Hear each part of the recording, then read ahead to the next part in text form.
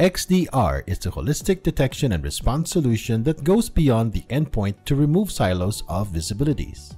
It leverages on advanced analytics like artificial intelligence and big data analytics as well as Trend Micro's extensive smart protection network to provide more detections and faster response. This is the first in this video series on integrating and testing of tools and add-ons with Trend Micro XDR. For this guide, we will be showing you how to install the Trend Micro XDR Splunk add-on and how to connect the Trend Micro XDR data to Splunk. If you wish to follow along the steps shown in this video, you'll need to have your Trend Micro XDR account secured as well as already installed the Splunk application. Splunk is a software used for monitoring, searching, analyzing, and visualizing the machine-generated data in real time.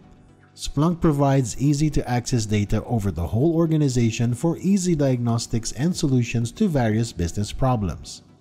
The Trend Micro XDR Splunk add-on allows you to receive alert notifications on the Splunk console. Before we begin, we need to download the package from the XDR console. Log in to your Trend Micro XDR console.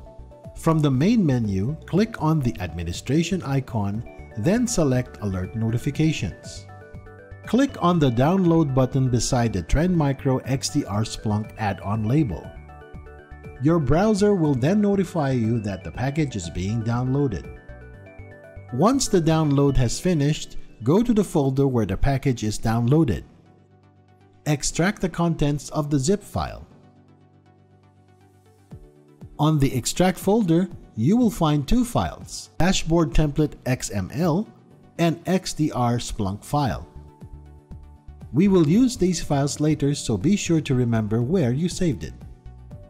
This time, open your Splunk web console and log in using your administrator account. On the App Launcher home screen, click on the Manage App icon on the left panel to navigate to the app screen. From the Apps panel, click on the Install App from the File button. In the Upload App screen, click the Choose File button, then navigate to the folder where we extracted the files earlier. Select the file XDR Splunk, then click on Open, then finally click on Upload. After a short while, the Trend Micro XDR add-on should appear on the app screen. Alternatively, you can use the filter slash search option and type XDR to filter all apps with the XDR string. Now we have fully verified that the app was loaded successfully. Our next objective is to copy and paste endpoint URL and authentication token located on the XDR console to the Splunk settings. This is the end of the first part of this guide. Play the next part to continue where we left off.